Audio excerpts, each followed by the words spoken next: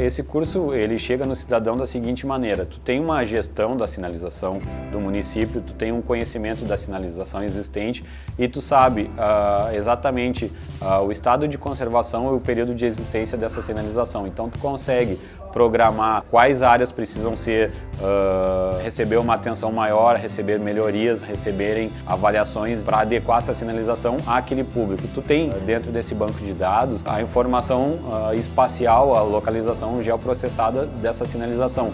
consegue ver visualmente em cada espaço da cidade onde está coberta a sinalização e onde está descoberta e assim poder gerenciar e administrar os recursos que são sempre escassos naqueles lugares que mais necessitam. A gente tem dentro do banco de dados a opção de geoprocessar essas informações, tanto por uma ferramenta dentro do sistema que tu pode usar um apontador e localizar essa sinalização num mapa e então jogar para o banco de dados. A partir disso, havendo essa sinalização geoprocessada, o próprio banco de dados, a partir de uma tabela ou uma planilha, exibe no Google Maps a distribuição espacial desses sinais. Então, assim, tu é capaz de ter a exata noção de onde tu tem os teus sinais na cidade colocados e como que eles uh, se apresentam em cada região, seja central ou de bairro.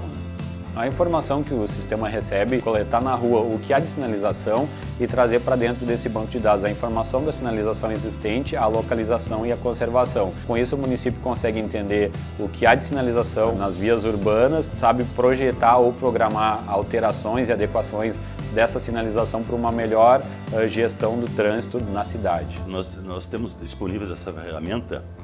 que ela fica, ela fica armazenada, independente de governo, de mudança de governo, ela fica armazenada aqui eh, num banco de dados da FAMURS. É, há bastante tempo que nós vimos eh, buscando a qualificação né, na, na, área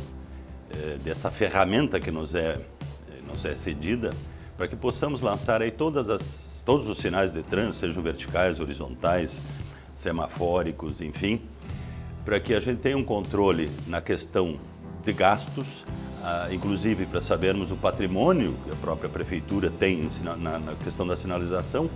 E eu, como sendo um membro do, do, do órgão que julga as defesas, os recursos, né, recursos administrativos, tenho uma ferramenta também para saber da existência e a qualidade em que se encontra essa sinalização quando alguém argumenta a não existência ou a ineficácia dessa sinalização. Então nós temos uma ferramenta bem importante, há bastante tempo que nós eh, temos à disposição essa ferramenta, somente agora que estamos aqui para fazer um treinamento para colocar em prática.